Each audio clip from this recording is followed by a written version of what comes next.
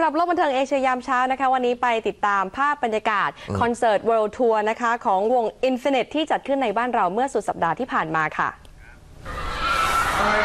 บริษัท 411 Entertainment จำกัดของไทยค่ะร่วมกับ Ulim Label ค่ายเพลงของเกาหลีใต้นะคะ จัดคอนเสิร์ต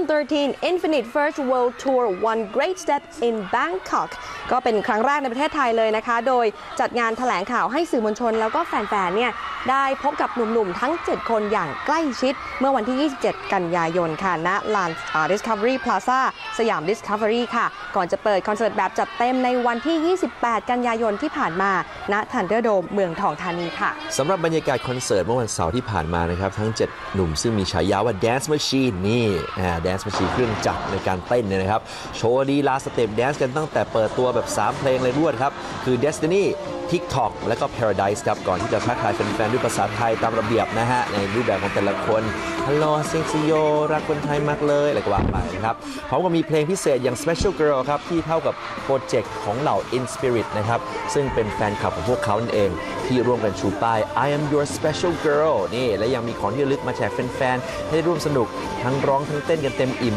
3 ชั่วโมงนะครับเนี่ย นี่และหลังจากนี้นะคะ Infinite เนี่ยก็มีกำหนดจะเดินทางไปเปิดการแสดงต่อที่สิงคโปร์ครับไต้หวันนะคะ มาเลเซีย จีน แล้วก็ฟิลิปปินส์ก่อนจะบินไปทัวร์ที่อเมริกาเหนือ แล้วก็ยุโรปในเดือนหน้าค่ะ